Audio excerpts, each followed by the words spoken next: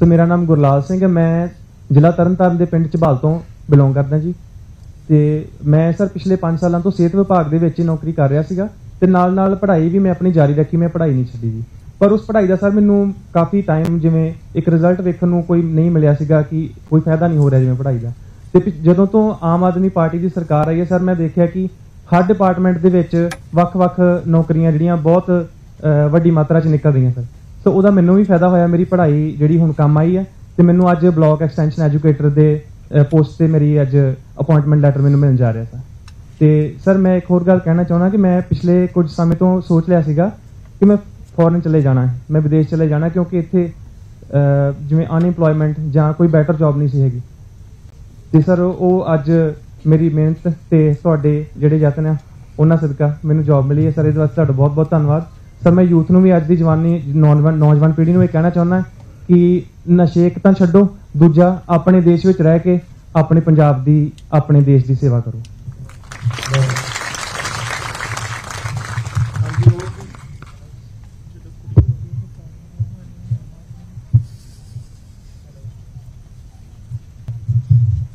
Sir, ਸਤਿ ਸ਼੍ਰੀ ਅਕਾਲ ਜੀ।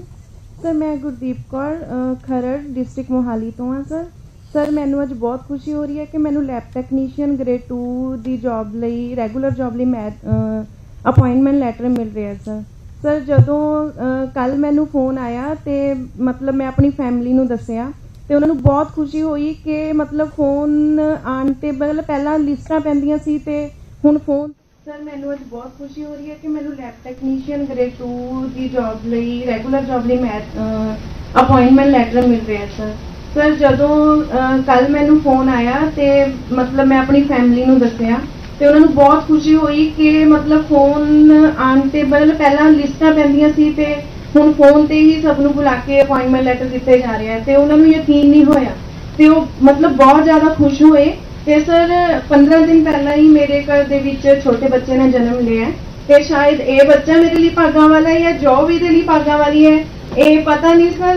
ਤੇ ਮਤਲਬ ਮੈਂ ਸਰ ਤੁਹਾਡਾ ਬਹੁਤ ਧੰਨਵਾਦ ਕਰਨਾ ਚਾਹੁੰਦੀ ਹਾਂ ਕਿ ਤੁਸੀਂ ਰੈਗੂਲਰ ਜੌਬ ਦੇ ਰਹੇ ਹੋ ਤੇ ਸਭ ਮਤਲਬ ਲੋਕਾਂ ਦੀ ਭਲਾਈ ਲਈ ਬਹੁਤ ਕੰਮ ਕਰ ਰਹੇ ਹੋ। ਤੇ ਸਰ ਤੁਸੀਂ ਜੋ ਕੋਈ ਕੋਈ ਕਿਸੇ ਕਿਸਮ ਦੀ ਕੋਈ ਸਿਫਾਰਿਸ਼ ਜਾਂ ਕੋਈ ਪੈਸੇ ਨਹੀਂ ਪੂਸੇ ਦੀ? ਨਹੀਂ ਬਿਲਕੁਲ ਨਹੀਂ ਸਰ ਮੈਰਿਟ ਦੇ ਹਿਸਾਬ ਨਾਲ ਹੀ ਰੱਖਿਆ ਗਿਆ ਸਰ ਬਿਲਕੁਲ ਪਾਰਦਰਸ਼ੀ ਤਰੀਕੇ ਨਾਲ ਸਰ। ਅੱਛਾ। ਤੇ ਮਤਲਬ ਮੈਂ ਬਹੁਤ ਖੁਸ਼ ਹਾਂ ਸਰ ਕਿ ਤੁਸੀਂ ਸਾਨੂੰ ਮੈਨੂੰ ਲੋਕਾਂ ਦੀ ਭਲਾਈ ਕਰਨ ਦਾ ਮੌਕਾ ਦਿੱਤਾ ਹੈ ਤੇ ਮੈਂ ਬਿਲਕੁਲ ਆਪਣੀ ਇਮਾਨਦਾਰੀ ਨਾਲ ਤੇ ਤਨਦੇਹੀ ਨਾਲ ਆਪਣੀ ਇਹ ਡਿਊਟੀ ਨਿਭਾਵਾਂਗੀ। ਬੇਬੀ ਦਾ ਕੀ ਹੈ?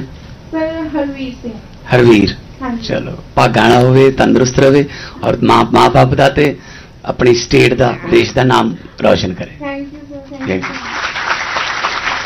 ਹਾਂਜੀ ਅਗਲੇ ਜੀ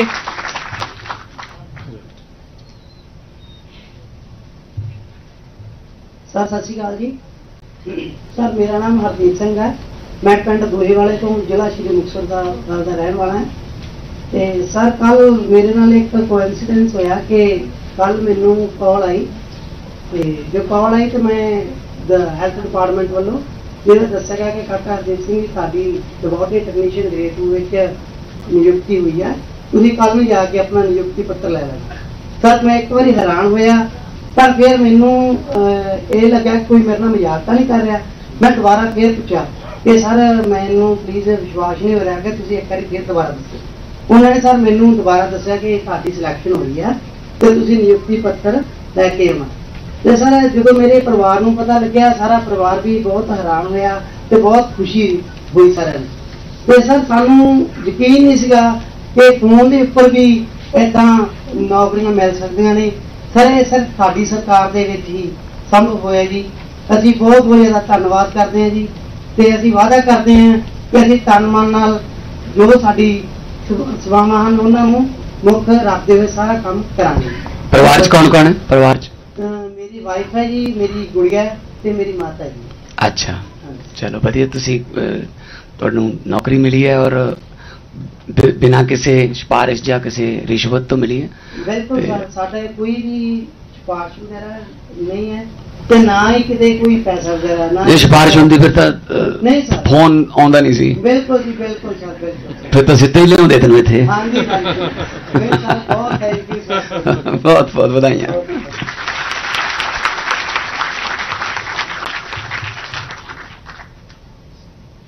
ਬਹੁਤ ਧੰਨਵਾਦ ਜੀ। ਕੋਈ ਹੋਰ ਕੋਈ ਹੋਰ ਬੋਲਣਾ ਚਾਹੁੰਦਾ?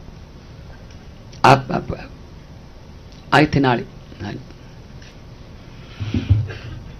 ਹੈਲੋ ਸਤਿ ਸ਼੍ਰੀ ਅਕਾਲ ਸਰ ਮੈਂ ਪਿਛਲੇ 10 ਸਾਲਾਂ ਤੋਂ ਮਤਲਬ ਕੰਮ ਕਰ ਰਹੀ ਆ ਆਪਣਾ ਮੈਂ ਮੈਂ ਵਿੱਚ ਐਨਾ ਚ ਵਿੱਚ। ਬਟ ਮੈਨੂੰ ਅੱਜ ਤੱਕ ਕੋਈ ਹੋਪ ਨਹੀਂ ਹੋਈ ਕਿ ਮੈਂ ਰੈਗੂਲਰ ਹੋ ਸਕਦੀ ਹਾਂ। ਬਟ ਆਫਟਰ 10 ਇਅਰ ਮੈਨੂੰ ਇਹ ਜੌਬ ਮਿਲੀ ਹੈ। ਇਹ ਮੇਰਾ ਬੈਸਟ ਐਕਸਪੀਰੀਅੰਸ ਰਿਹਾ ਮਤਲਬ ਮੈਂ ਮੇਰੀ ਫੈਮਿਲੀ ਇੰਨੀ ਖੁਸ਼ ਹੈ ਮੇਰਾ ਬੇਟਾ ਛੋਟਾ ਜਿਹਾ। ਔਰ ਮਤਲਬ ਸਾਡੇ ਅਸੀਂ ਆਪਣਾ ਮਤਲਬ ਐਕਸਪਲੇਨ ਹੀ ਨਹੀਂ ਕਰ ਸਕਦੇ। ਕਿ ਸਾਨੂੰ ਮਤਲਬ ਆਫਟਰ 10 ਇਅਰ ਜਦ ਕਿ ਉਹ ਖੋ ਚੁੱਕੇ ਸੀ ਸਾਰੇ ਬਟ ਸਾਨੂੰ ਇਹ ਜੌਬ ਮਿਲ ਰਹੀ ਹੈ ਔਰ thank you so much sir ਸਾਰਾ ਤੁਹਾਡੇ ਕਰਕੇ ਹੈ. ਨਹੀਂ, ਤੁਹਾਡੀ ਆਪਣੀ ਮਿਹਨਤ- ਤੁਹਾਡੀ ਆਪਣੀ ਮਿਹਨਤ. ਹੈ। Thank you. ਤੁਹਾਡਾ ਆਪਣਾ ਜਨੂਨ. ਹੈ ਤੁਹਾਡ- ਔਰ ਹਜੇ ਉਮੀਦ ਛੱਡਣੀ ਨਹੀਂ ਨਹੀਂ ਸਰ ਪੜ੍ਹਾਈ ਨਾਲ- ਨਾਲ- ਨਹੀਂ ਅਗਲੀ ਅਗਲੀ ਪੋਸਟ ਵਾਸਤੇ ਪੜ੍ਹਾਈ ਨਾਲ ਨਾਲ ਫਿਰ। ਜਾਰੀ ਰੱਖ ਲਿਓ ਇਹ ਜਿਨ ਮੈਂ ਹੁਣ ਸਾਰਿਆਂ ਨੂੰ ਕਹਿਣਾ ਚਾਹੁੰਦਾ ਕਿ ਇਹ ਤੁਹਾਡੀ ਪਹਿਲੀ ਜਾਂ ਆਖਰੀ ਜੌਬ ਨਹੀਂ ਹੈਗੀ ਇਹਨੂੰ ਤੁਸੀਂ ਇੱਕ ਜ਼ਰੀਆ ਬਣਾ ਕੇ ਅਗਲੇ ਪੇਪਰ ਦੇ ਦਿਓ, ਕਿਸੇ ਹੋਰ ਵੱਡੇ ਕੰਪੀਟੀਸ਼ਨ ਦੇ ਪੇਪਰ ਦੇ ਦਿਓ, ਉਹਦੇ ਚ ਮੈਰਿਟ 'ਚ ਆ ਜਾਓਗੇ।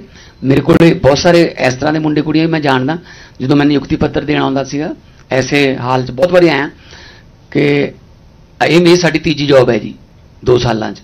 ਇਹ ਸਾਡੀ ਚੌਥੀ ਜੌਬ ਹੈ ਜੀ, ਕਿਉਂਕਿ ਪਹਿਲਾਂ ਕਲਰਕ ਲੱਗ ਗਏ, ਫਿਰ ਪਟਵਾਰੀ ਦਾ ਐਗਜ਼ਾਮ ਦੇਤਾ, ਫਿਰ ਡੀਐਸਪੀ ਦਾ ਦੇਤਾ, ਕੋਈ ਇਨਸਪੈਕਟਰ ਦਾ ਦੇਤਾ। ਸੋ ਪੜ੍ਹਾਈ ਲਈ ਆਪਸ਼ਨ ਹਮੇਸ਼ਾ ਖੁੱਲੀ ਰਹਿੰਦੀ ਹੈ. ਸਿੱਖਣ ਦਾ ਕੋਈ ਵੀ ਟਾਈਮ ਜਾਂ ਉਮਰ ਨਹੀਂ ਹੁੰਦੀ. ਸੋ ਐਜੂਕੇਸ਼ਨ ਹਾਂ ਇੰਨਾ ਮੈਂ ਤੁਹਾਨੂੰ ਕਹਿਣਾ ਕਿ ਮੈਰਿਟ ਚ ਆ ਜਾਓ ਤੁਹਾਡੇ ਘਰੇ ਫੋਨ ਆਊਗਾ ਜਾਂ ਚਿੱਠੀ ਆਊਗੀ ਤੁਹਾਨੂੰ ਕਿਤੇ ਹੋਰ ਜਾਣ ਦੀ ਲੋੜ ਨਹੀਂ ਪੈਣੀ ਵੱਡੀਆਂ ਵੱਡੀਆਂ ਕੁਰਸੀਆਂ ਇਸ ਤੋਂ ਵੀ ਵੱਡੀਆਂ ਵੱਡੀਆਂ ਕੁਰਸੀਆਂ ਤੁਹਾਡਾ ਇੰਤਜ਼ਾਰ ਕਰ ਰਹੀਆਂ ਹੋਣਗੀਆਂ ਫਿਊਚਰ ਚ Sir, thank you so much. Okay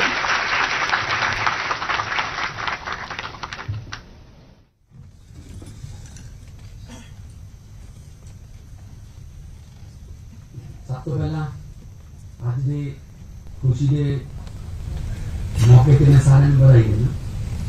ਜਿੰਨੇ ਵੀ ਨੌਜਵਾਨ ਮੁੰਡੇ ਕੁੜੀਆਂ ਪੰਜਾਬ ਦੇ ਅੱਜ ਵੱਖ-ਵੱਖ ਮਹਿਕਮਿਆਂ ਦੇ ਵਿੱਚ ਤਿੰਨ ਮਹਿਕਮੇ ਨੇ ਜ਼ਿਆਦਾਤਰ ਹੈਲਥ 'ਚ ਨੇ। ਸਭ ਤੋਂ ਪਹਿਲਾਂ ਅੱਜ ਦੇ ਖੁਸ਼ੀ ਦੇ ਮੌਕੇ ਤੇ ਮੈਂ ਸਾਰਿਆਂ ਨੂੰ ਵਧਾਈ ਦਿੰਦਾ। ਜਿੰਨੇ ਵੀ ਨੌਜਵਾਨ ਮੁੰਡੇ ਕੁੜੀਆਂ ਪੰਜਾਬ ਦੇ। ਅੱਜ ਵੱਖ-ਵੱਖ ਮਹਿਕਮਿਆਂ ਦੇ ਵਿੱਚ ਖ- ਤਿੰਨ ਮਹਿਕਮੇ ਨੇ ਜ਼ਿਆਦਾਤਰ ਹੈਲਥ 'ਚ ਨੇ ਵਾਟਰ ਸੋਰਸ 'ਚ ਨੇ ਤੇ ਟੈਕਨੀਕਲ ਐਜੂਕੇਸ਼ਨ 'ਚ ਨੇ। 293 ਅਹ, ਜਿਹੜੀਆਂ ਪੋਸਟਾਂ ਨੇ ਅੱਜ ਤੁਸੀਂ ਇੱਥੋਂ ਨ- ਨਿਯੁਕਤੀ ਪੱਤਰ ਲੈ ਕੇ ਜਾਓਗੇ। ਤੁਹਾਨੂੰ ਤੁਹਾਡੇ ਮਾਪਿਓ ਨੂੰ ਤੁਹਾਡੇ ਪਰਿਵਾਰਾਂ ਨੂੰ ਦੋਸਤਾਂ ਮਿੱਤਰਾਂ ਨੂੰ ਜਿਨ੍ਹਾਂ ਨੇ ਤੁਹਾਡੀ ਪੜ੍ਹਨ 'ਚ ਹੈਲਪ ਕੀਤੀ ਹੋਊਗੀ ਜਾਂ ਕੋਈ ਗਾਈਡੈਂਸ ਕਿਸੇ ਕਿਸਮ ਦੀ ਕਿਸੇ ਵੀ ਮੋੜ ਤੇ ਦਿੱਤੀ ਹੋਊਗੀ। ਉਹਨਾਂ ਸਾਰਿਆਂ ਨੂੰ ਬਹੁਤ-ਬਹੁਤ ਮੁਬਾਰਕਾਂ।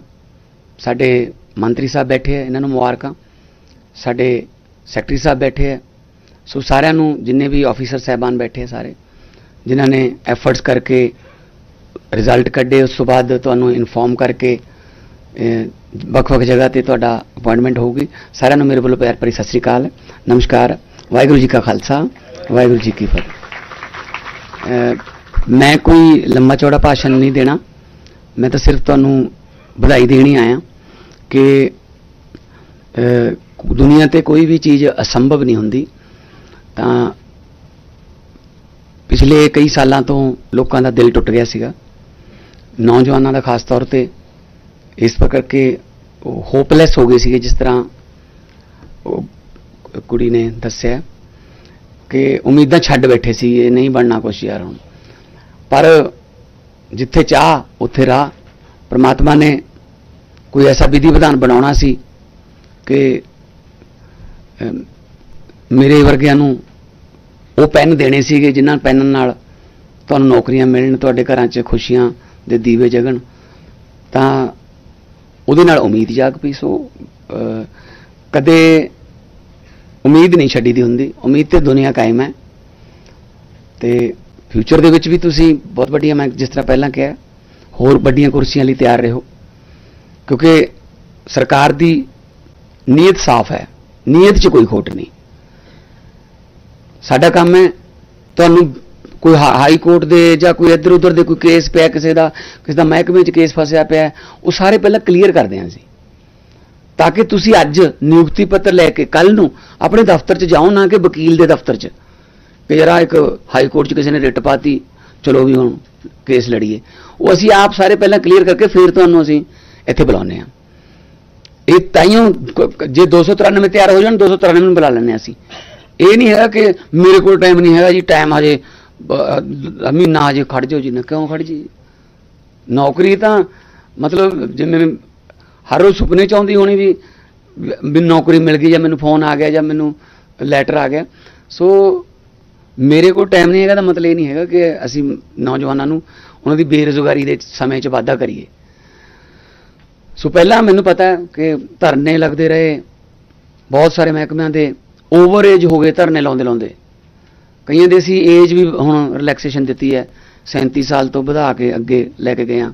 40 42 ਕਰੀ ਤਾਂ 45 ਵੀ ਕਰਤੀ ਗਈ ਮਹਿਕਮਿਆਂ 'ਚ। ਮਤਲਬ ਵੀ ਵੀ ਇਹਨਾਂ ਦਾ ਕੀ ਕਸੂਰ ਆ? ਹੁਣ 10 ਸਾਲ ਨਾਰੇ ਲਾਉਂਦੇ ਰਹੇ। ਉਹ ਨਾਰੇ ਲਾਉਂਦੇ ਰਹੇ। ਲੀਡਰ ਸਾਡੇ ਜਿਹੜੇ ਸੀਗੇ, ਉਹ ਨਜ਼ਾਰੇ ਲੈਂਦੇ ਰਹੇ। ਉਹ ਅੰਦਰੋਂ ਕੁੰਡੇ ਲਾ ਕੇ ਬਹਿ ਗਏ ਆਪਣੇ ਮਹਿਲਾਂ ਦੇ। ਕੋਈ ਪਬਲਿਕਲੀ ਤਾਂ ਅਵੇਲੇਬਲ ਹੀ ਨਹੀਂ ਸੀਗੇ ਉਹ। ਪਬਲਿਕ ਕੀ ਕਰੇ ਫਿਰ? ਉਹ ਨਾ- ਉਹ ਟੈਂਕੀਆਂ ਤੇ ਚੜਦੇ ਸੀ ਜਾਂ ਜਾਂ ਸੜਕਾਂ ਤੇ ਪੈਂਦੇ ਸੀ। ਹੋਰ ਕਿੱਥੇ ਜਾਣ ਫਿਰ ਉਹ? ਸੋ ਇਸ ਕਰਕੇ ਉਹਨਾਂ ਨੇ ਕਿਉਂਕਿ ਉਹਨਾਂ ਨੇ ਚਿੰਤਾ ਨਹੀਂ ਕੀਤੀ ਨਾ। ਪ੍ਰੋਬਲਮ ਇਹ ਹੈ, ਉਹਨਾਂ ਨੂੰ ਦਰਦ ਨਹੀਂ ਪਤਾ ਨਾ। ਉਹਨੂੰ ਕਦੇ ਬੇਰੁਜ਼ਗਾਰੀ ਦੇਖੀ ਨਹੀਂ ਨਾ ਕਦੇ।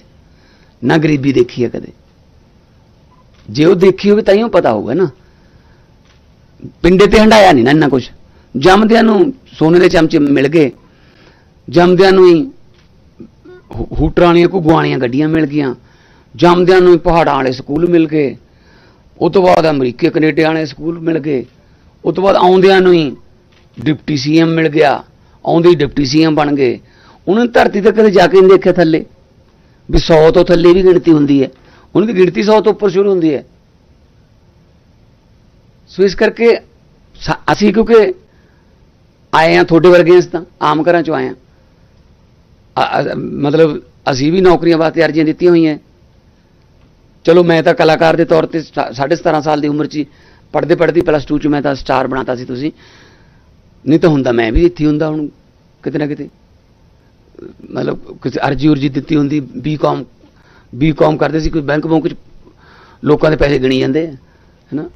ਤੇ ਲੋਕਾਂ ਦੇ ਪੈਸੇ ਗਿਣ ਕੇ ਆਪ ਤੰਗ ਹੋ ਕੇ ਉਹਨਾਂ ਨੂੰ ਦੇਈ ਜਾਂਦੇ, ਵੀ ਇਹ ਸਾਡੇ ਕੋਲ ਕਿਉਂ ਨਹੀਂ ਹੈਗੇ, ਹੈਨਾ? ਸੋ ਇਹ ਜਿਹੜਾ ਖੁਸ਼ੀ ਹੈ ਜਿਹੜੀ ਨੌਕਰੀ ਮਿਲਣ ਦੀ, ਇਹਦੀ ਕਿਸੇ ਕਰੰਸੀ 'ਚ ਕੋਈ ਕੀਮਤ ਨਹੀਂ ਹੈਗੀ। ਸੋ ਅੱਜ ਤੁਹਾਡੇ ਮਾਤਾ ਪਿਤਾ ਆਏ ਨੇ, ਬਹੁਤ ਸਾਰਿਆਂ ਦੇ ਰਿਸ਼ਤੇਦਾਰ ਆਏ ਨੇ, ਅੱਜ ਖੁਸ਼ ਜਾਓਗੇ ਕਿ ਇਸੇ ਦਿਨ ਵਾਸਤੇ ਅ, ਮਤਲਬ ਅਸੀਂ ਸੋਚਦੇ ਸੀ ਕਿ ਸੁਪਨਾ ਸੀ ਸਾਡਾ। ਸੋ ਸਰਕਾਰਾਂ ਦਾ ਕੰਮ ਇਹੀ ਹੁੰਦਾ ਸਰਕਾਰਾਂ ਦਾ ਕੰਮ ਹੈ ਸਹੂਲਤਾਂ ਦੇਣੀਆਂ ਨਾ ਕਿ ਲੋਕਾਂ ਨੂੰ ਤੰਗ ਕਰਨਾ। ਪੈਸੇ ਤੁਹਾਡੇ ਤਨਖਾਹਾਂ ਦੇ ਪੈਸੇ ਕਿੱਥੋਂ ਆਉਣਗੇ? ਤੁਸੀਂ ਇਹ ਦੇਣੇ ਨੇ। ਕਿਸੇ ਨਾ ਕਿਸੇ ਰੂਪ 'ਚ ਟੈਕਸ ਦਿੰਦੇ ਹੋ। ਉਹ ਟੈਕਸ ਇੱਥੇ ਆਉਂਦਾ ਇੱਥੋਂ ਇੱਥੋਂ। ਵਾਪਸ ਲੋਕਾਂ ਦੇ ਹਲ- ਅਹ ਚਲਾ ਜਾਂਦਾ ਕ- ਕਿਤੇ ਬਿਜਲੀ ਫ੍ਰੀ ਦੇ ਰੂਪ 'ਚ ਚਲਾ ਜਾਂਦਾ ਕਿਤੇ ਸਕੂਲਾਂ ਸਕੂਲ ਆਫ ਐਮੀਨੈਂਸ ਜਾਂ ਚੰਗੇ ਸ਼ਾਨਦਾਰ ਸਕੂਲ ਬਣਾਉਣ ਤੇ ਜਾਂ ਫਰਨੀਚਰ ਜਾਂ ਉੱਥੇ ਟੀਚਰ ਰੱਖਣ ਤੇ ਚਲੇ ਜਾਂਦਾ ਜਾਂ ਹਸਪਤਾਲ ਬਣਾਉਣ ਤੇ ਚਲੇ ਜਾਂਦਾ ਪੈਸਾ ਤੁਹਾਡਾ ਸਰਕਲ ਹੈ ਬਸ। ਜਿਹੜੀ ਗਵਰਨਮੈਂਟ ਵਧੀਆ ਸਰਕਲ ਬਣਾ ਲੈਂਦੀ ਹੈ, ਉਹਨੂੰ ਚੰਗੀ ਗਵਰਨਮੈਂਟ ਕਹਿੰਦੇ ਆ ਪਹਿਲਾਂ ਵਾਲੀ ਗਵਰਨਮੈਂਟ ਕੀ ਕਰਦੀ ਸੀ? ਉਹ ਖਜ਼ਾਨੇ ਤੱਕ ਪਹੁੰਚ ਨਹੀਂ ਦਿੰਦੇ ਸੀ ਟੈਕਸ ਦਾ ਪੈਸਾ। ਲੀਕੇਜ ਸੀ ਬਹੁਤ। ਰਾਹ 'ਚ ਹੀ ਰਹਿ ਜਾਂਦੇ ਸੀਗੇ ਸਾਰੇ ਪੈਸੇ। ਤੇ ਅੱਗੇ ਲੱਗਣ ਨੂੰ ਫਿਰ ਪੈਸਾ ਕਿੱਥੋਂ ਹੋਊਗਾ? ਆਪਦੇ ਘਰਦਿਆਂ ਨੂੰ ਜਾਂ ਫਿਰ ਜੋ ਵੀ ਨੌਕਰੀਆਂ ਜਾਂ ਕੋਈ ਆਪਦੇ ਬੰਦਿਆਂ ਨੂੰ ਬਸ ਆ ਆਪਣਾ ਬੰਦਾ ਹੈ ਆਪਣਾ ਬੰਦਾ ਆਪਣਾ। ਮੈਨੂੰ ਇੱਕ ਆਇਆ ਫੋਨ, ਤੇ ਤਿੰਨ ਕੁ ਮਹੀਨੇ ਦੀ ਗੱਲ ਹੈ, ਇਸੇ ਹਾਲ 'ਚ ਹੀ ਆਉਣਾ ਸੀ ਮੈਂ। 443 ਮੇਰੇ ਖਿਆਲ 'ਚ ਨੌਕਰੀਆਂ ਸੀਗੀਆਂ, ਅਲੱਗ-ਅਲੱਗ ਡਿਪਾਰਟਮੈਂਟ ਦੀਆਂ। ਤਾਂ ਮੈਨੂੰ ਮੇਰੇ ਇੱਕ ਐਮਐਲਏ ਦਾ ਫੋਨ ਆਇਆ, ਕਹਿੰਦੇ ਜੀ ਕੱਲ ਨੂੰ ਤੁਸੀਂ 443 ਨੌਕਰੀਆਂ ਵੰਡਣੀਆਂ। ਮੈਂ ਕਿਹਾ, ਹਾਂਜੀ। ਕਹਿੰਦੇ, ਇੱਕ ਆਪਣਾ ਮੁੰਡਾ ਹੈ, ਬੜਾ ਵਧੀਆ, ਆਪਣੀ ਖਾਸ ਹੈ ਜਮਾ। ਮੈਂ ਕਿਹਾ, ਅੱਛਾ, ਮਿਲ ਰਹੀ ਹੈ ਉਹਨੂੰ ਵੀ ਨੌਕਰੀ? ਕਹਿੰਦਾ, ਨਹੀਂ ਨਹੀਂ, ਪੰਜ ਨੰਬਰਾਂ ਤੇ ਰਹਿ ਗਿਆ। ਮੈਂ ਕਿਹਾ, ਅੱਛਾ, ਫੇਰ? ਕਹਿੰਦੇ ਜੀ ਕਰੋ ਕੁਛ ਫਿਰ ਹੁਣ। ਉਹ ਤਾਂ ਜਮਾ ਹੀ ਆਪਣਾ ਮੈਂ ਕਿਹਾ, ਵੀ ਕੀ ਕਰੀਏ ਫਿਰ ਹੁਣ? ਪੋਸਟ ਤਾਂ ਵਧਾ ਨਹੀਂ ਸਕਦੇ 444 ਤਾਂ ਕਰ ਨਹੀਂ ਸਕਦੇ। ਨਹੀਂ, ਕਹਿੰਦਾ, ਫਿਰ ਤਾਂ ਆਪਣਾ ਹੀ।